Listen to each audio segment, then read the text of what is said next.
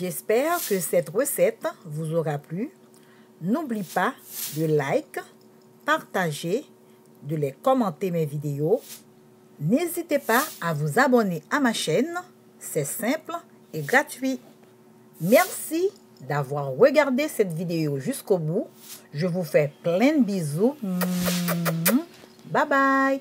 À la prochaine dans une nouvelle vidéo. Bye. Thank you.